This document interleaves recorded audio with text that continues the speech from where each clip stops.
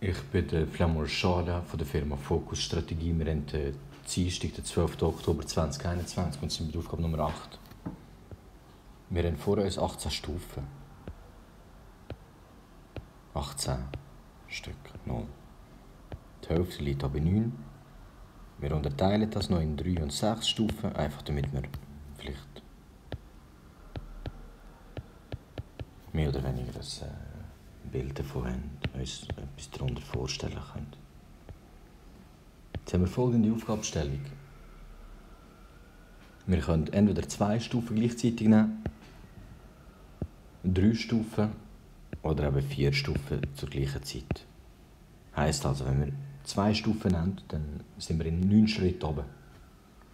18 durch zwei Stufen, 9. Nur dürfen wir das gar nicht. Warum? Weil verlangt wird, dass wir immer, also mindestens noch eine andere, äh, noch eine andere Schrittgröße nehmen. Also, wir haben zum Beispiel zweimal drei Stufen, das sind sechs Stufen, zweimal drei. Und wir können Stufen nehmen,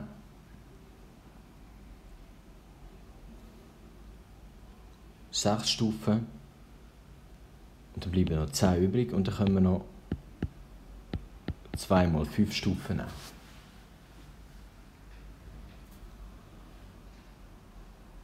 Heißt also folgendermaßen: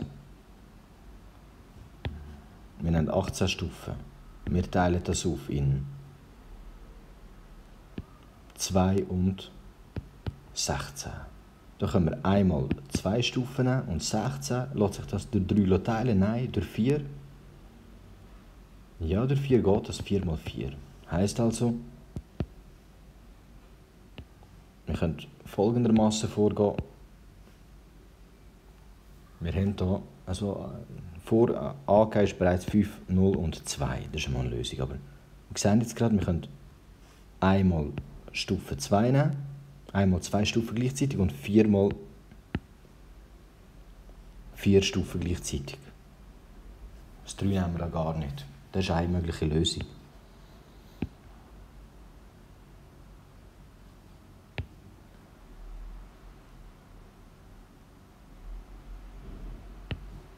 Wir könnten mit drei Stufen uns bewegen und 15, 3 und 15. Welche Kombination haben wir da zur Verfügung?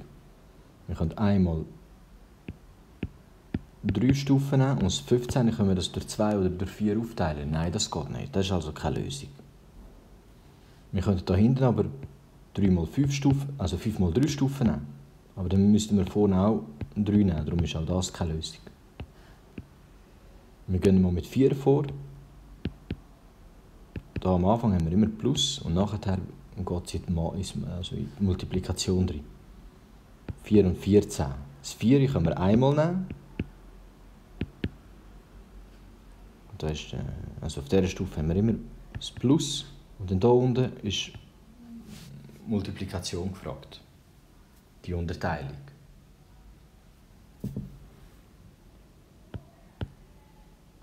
Einmal 4 und dann haben wir hier 14, das ist 2 mal 7, aber mm, also 7, 7 mal 2. Das ist eine mögliche Lösung. Heißt also, wir haben 1 mal 4 und 7 mal 2 und 0. Haben wir noch irgendwo das 3 drin? Nein, das ist nicht um. Umgekehrt können wir hier hinten für das 14 ins 4 nehmen? Nein, das geht nicht. Wir müssen ja immer volle Stufen sein, wir können nicht eine halbe Stufe nehmen. Jetzt haben wir 4 gehabt, jetzt gehen wir zu 5 und 13. 5 plus 13 gibt 18 als Erinnerung. Und jetzt hier unten. Das 5 ist keine 2er, 3er und auch keine 4er Zahl, also ist das keine Lösung. Da gehen wir direkt zum 6 über. Wobei.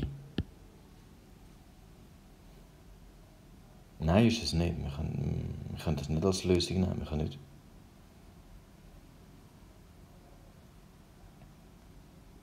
Das 5 können wir nicht mit 2 mal 2 Stufen nehmen. Oder mit 2 mal 3 oder 2 mal 4. Das geht nicht. Das ist richtig so. Dann nehmen wir 6 und 12. 6 Stufen können wir mit 3 mal 2 nehmen, das ist sicher eine Lösung. Und das 12 könnten wir dann, braucht man eine andere Kombination, 3 mal 4 oder 4 mal 3. Heisst also, wir nehmen hier 3 mal Stufe, 2, 3 mal je 2 Stufen. Und dann nehmen wir noch 3 mal, 3, 3 mal 4 Stufen. Oder eben 4 mal 3 Stufen. Das sind beides Lösungen. Wenn wir hier gerade dabei sind, wir können auch 6 mit 3 Stufen nehmen. Das heisst 2 mal 3 Stufen. 2, 2 mal 3 Stufen, das kommt hier in die Mitte drin. Und wenn wir hier 2 mal 3 Stufen haben, dann haben wir die meisten Lösungen. Warum? Weil 18, das ist eine Zweierzahl, eine Dreierzahl. Zwar keine Viererzahl, 12, 16, 20, aber wenn wir es dann aufteilen und in 6 und 12 dann eben schon. Und wenn wir 2 haben, da ist zwei, also 2 mal 3 Stufen, ich tue da schon eine Reihenfolge ändern. 2 mal 3 Stufen, eine hintere Zahl ist immer die Anzahl Stufen. Dann können wir nachher wieder 3 mal das 4 nehmen. Dann haben wir nämlich, das macht Sinn, 3 mal das 4 nehmen. Oder wir könnten auch 4 mal 3, das geht nicht, wir haben nur 2 mal 3 genommen. Aber wir können folgendes machen, wir können anstatt 3 mal 4 können wir auch, können wir auch uns sagen, und vorne kommt das 0 hin, und wenn wir da 6, 12, wir könnten, wir könnten das in Zweierstufen noch durchgehen, 6 mal 2, dann haben wir das 6, 2 und 0, das ist auch noch eine Lösung. Gut. Wir haben hier 7 und, äh, und 11. 7 und 11, das sind beides Primzahlen, die kann man nicht mehr kleiner machen. Dann haben wir noch das 8. Wenn wir das 8 haben, haben wir noch das 10. Das 8 können wir in eine Zweierzahl aufteilen. 4 mal 2. Wir sehen, da ist auch 2 mal 4, 4 versteckt. Und das 10 können wir das in 3 oder 4 aufteilen. Da am Anfang in drei oder vier aufteilen? Nein, das geht nicht. Das geht nicht.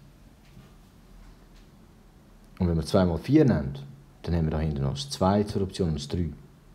Kann man das aufteilen? Nachher hinten. Ja, wir können 5 mal 2 rechnen. 3 geht nicht. Das haben wir 2 mal das 4, 2 mal das 4 und 5 mal das 2. 5 mal nicht, 2 mal 5 mal. Wir sehen, das ist schon die Lösung hier vom Anfang an. Gewesen. Warum? Weil wir als Orientierung oder Verständnis von der Aufgabe noch das als Hinweis haben. Gehen wir mal mit 9 vor. Und dann sind wir auch schon in der Mitte und äh, eine Spiegelung davon müssen wir ja nicht einmal durchmachen. Das 9. Tönt nach einer Lösung und dann fangen wir mal an. Es ist keine 2 und keine 4 Zahl, wir können 3 mal 3 rechnen. Und nachher muss man ja andere Stufengrössen nehmen. Da gibt es nicht mehr. Also haben wir 2, 4, 6, 7 Lösungen. Habe ich jetzt hier damit berechnet. 1, 2, 3, 4, 5, 6, 7 Lösungen. Insgesamt sind es aber 10 Lösungen. Ich prüfe noch, vorher habe ich noch im Albanischen bin ich anders vorgegangen. Dort habe ich... Wie viele Lösungen bin ich vorher gekommen? 1, 2, 3, 4, 5, 6, 7, 8 Lösungen. 2, 4, 6, 8 Lösungen. 2, 4, 6, 8. Eigentlich sind es 10 Lösungen. 7 mal 2, das sind 14 Stufen.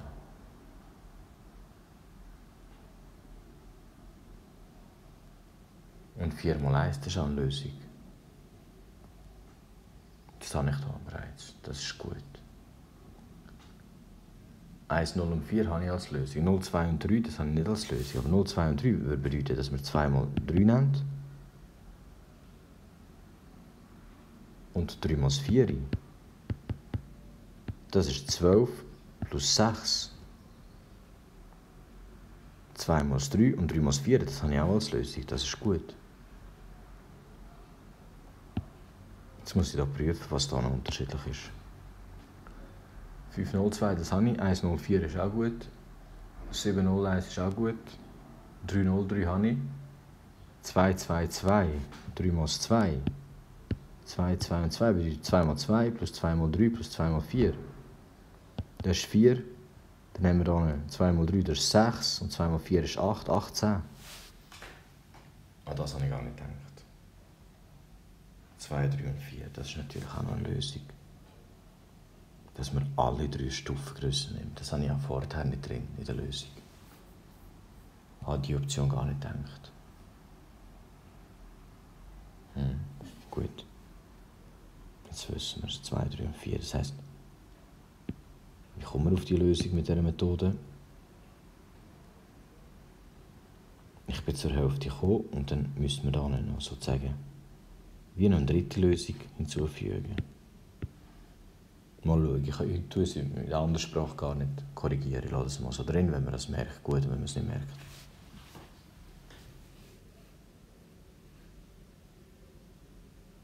Haben wir hier 2, 3 und 4 noch. Die Kombination ist 2, 3 und 4. Auch hier wieder Plus dazwischen. Heißt also, wir nehmen hier die Unterteilung. Wir sagen, wir fangen an mit 1, das macht keinen Sinn. Wir fangen an mit 2. Dann nehmen wir dann nur noch die Zahl 16. Das schauen wir so an. Wir machen 2 und 16 und 16 wird weiter unterteilt in mit 2. Wir nicht nur die gleiche Lösung nehmen mit 3 und 4. Mit 3, dann ist da die Differenz 16, dann sind wir bei 13. Und das kann keine Lösung geben. Warum? Weil 13 kein 3er, kein 4, keine 2er Zahl ist, wenn wir immer drei Zahlen verwenden. Mit 4, dann haben wir hier noch 12. Das könnte eine Lösung geben.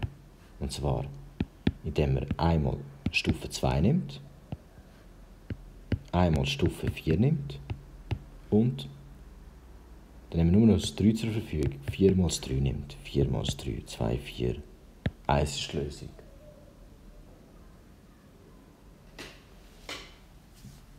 Das wird auch nicht als Lösung angegeben, aber das ist auch eine Lösung. Hm. Also einmal Stufe 2, einmal Stufe 4 und viermal Stufe 3. Dann haben wir nämlich hier 2 plus 4 plus 12. Das ist 14, 18. Das wird dann nicht als Lösung geben, stimmt das? Jetzt habe ich vorher zwei, drei Lösungen zu wenig geschrieben und jetzt habe ich dafür aber eine Lösung mehr gefunden. Das ist doch auch gut so.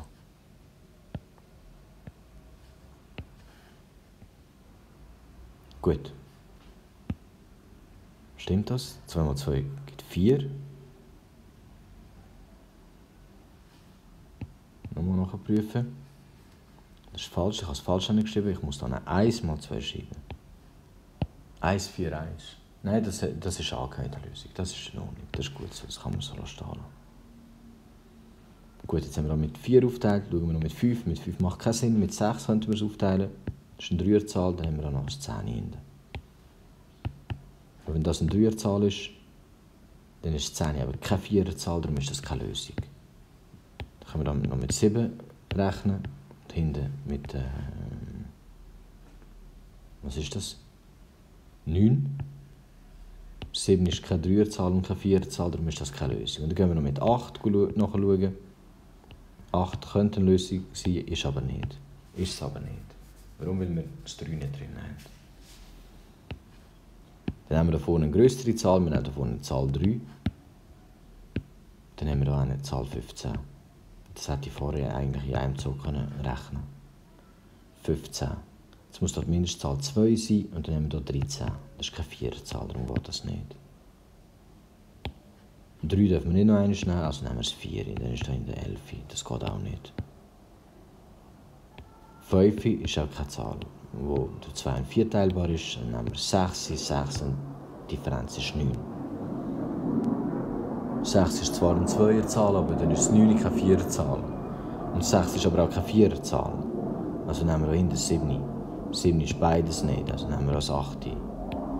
Das 8, das sieht gut aus. 8 ist sicher ein 5, 3, 7. Das 8 ist sicher, jetzt sind wir über die Hälfte, jetzt äh, haben wir eigentlich das Ende gerechnet. Dann kann ich weiter schauen, wir können mal schauen. 8 ist zwar eine Vierzahl, aber 7 ist keine Zweierzahl. Wir haben hier vorne das 4, das ist eine Viererzahl. Dann fehlt uns hier noch 14. Und 14 kommen wir wie? Mit 1 und 13 ist beides nicht lösbar. 2 und 12. Das sieht grundsätzlich gut aus. Da haben wir 1 mal 4, 1 mal 2 und 4 mal 3. Die Lösung ist also 1, 1 und 4. 1, 1 und 4. Hm. Prüfen wir das nochmal. 4 mal 3 ist 12. 1 mal 2 ist 2. Und 1 mal 4 ist 4. 4 plus 2, das gibt äh, 6. 6 plus 12, das gibt 18. 12 plus 2 gibt 14. 14 plus 4 gibt 18. Das muss eine Lösung sein. Ist aber nicht, ist aber nicht angegeben, aber das ist eine Lösung. 1 mal 2, das gibt 2. Plus 1 mal 3, das stimmt nicht. Ich muss da aufpassen, da ist ähm, das 2 ist ganz vorne. Also müssen wir dort das 1 hinschreiben. Dann haben wir noch eine das 3 4 mal 1, 4, 1, das haben wir bereits als Lösung. Jetzt muss ich schauen, ob wir uns bereits im Kreis drehen und ich damit eigentlich die Aufgabe gelöst habe oder ob das noch grundsätzlich weitergehen muss. Wir können es jetzt hier noch mit 3 probieren. Ich denke, die Lösungsweise, wie ich das auf Albanisch gemacht habe, ist besser. Das ist die bessere Methode. Ich sehe jetzt weil gerade noch neue Methode probieren. Die andere Methode ist übersichtlicher gesehen.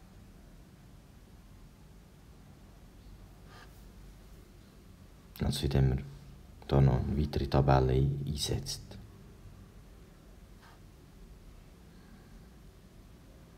Vier, dann haben wir noch das 4 und das 10. 4 und 10. Würde also bedeuten, dass man hier einmal 4 rechnet, 2 mal 2 rechnet. Das 10 das ist keine Dreierzahl, darum fällt auch diese Lösung weg. 5 auf 6. Auf auf 14 ist 8. Da haben wir noch eine Dreierzahl drin. Und dann kann man hier rechnen 2 mal 3. Und das 4 das ist 2 mal 4. Oder hier 1 mal 4. Und hier 2 mal 4. 4 mal 2 natürlich, das umgekehrte. Oder wir rechnen hier 2 mal 2 und hätten hier 2 mal 4. Dann haben wir hier die Lösung. Also die Zweierzahl ist ganz vorne, 3 und 3. Und dann haben wir ähm, 3 und dann haben wir die Viererzahl, die ist hinten, also haben wir hinten das 1 und die Zweierzahl ist Nochmal, die Dreierzahl ist in der Mitte. Mhm. Also haben wir eine Dreierzahl in der Mitte. Die Zweierzahl ist vorne, da kommt auf 4 hin. Und hinten kommt das 1 hin, wie im 4. Und einmal haben wir die Viererzahl, das ist ganz hinten kommt das 2 hin und dann das 2 vorne. Also haben wir 4, 3, 1 und 2, 3, 2 als Lösung.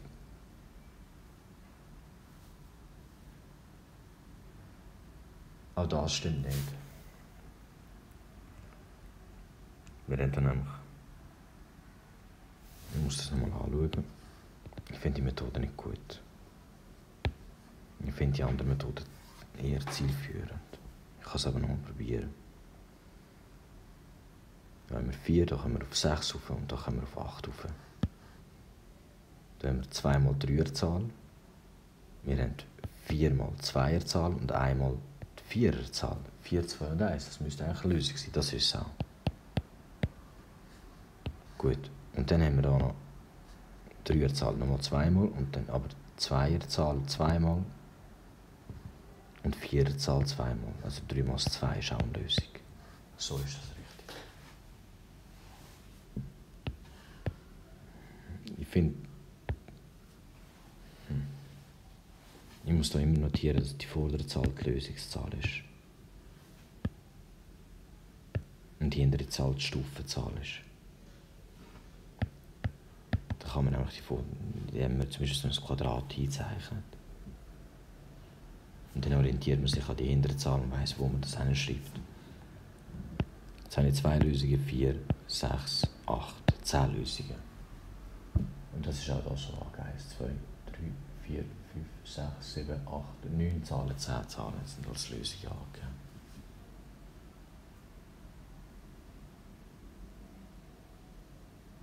Ich muss da vielleicht noch im Albanischen noch ein eine Erweiterung. Äh, ich mache das kurz, dann ist es dort auch noch vollständig. Und dann kann man beide Methoden vergleichen. Ich denke, die andere Methode ist, ist, besser. Weil bei der anderen Methode weiß man, wenn man eigentlich fertig ist. Bei dieser Methode weiß man das wahrscheinlich auch. Ich sehe es einfach gerade nicht. Und wenn man die Lösungen nicht angeht, dann ist man bei dieser Methode, dann würde man wahrscheinlich da ein zu weit noch ausprobieren. Und mit anderen Methoden weiß man jetzt immer. Hm, jetzt ist man zum Beispiel bei x gleich 0 hat man alles angeschaut, y gleich 0 hat man alles angeschaut, z gleich 0 hat man alles angeschaut. Gut.